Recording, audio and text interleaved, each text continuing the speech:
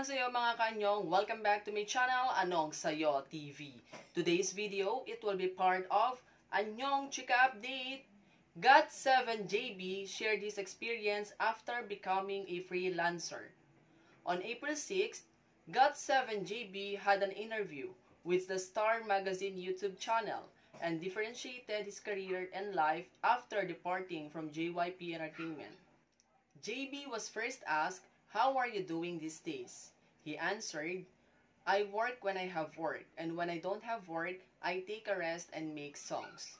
JB also said how much he enjoys working and communicating directly with the people rather than going through managers.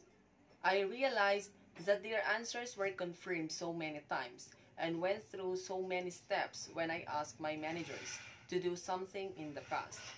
JB was also asked how does it feel to leave JYP Entertainment? He stated, other members quickly chose their agencies, but I decided to choose mine carefully.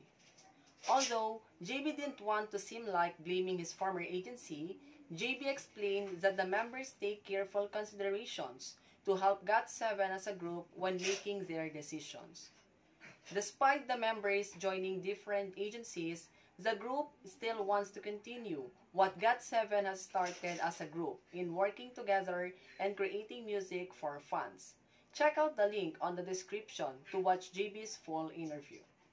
That's it mga kaanyong. If you're new to my channel, don't forget to hit the like and subscribe button and also the notification bell beside the subscribe button. See you on my next video. Annyeong!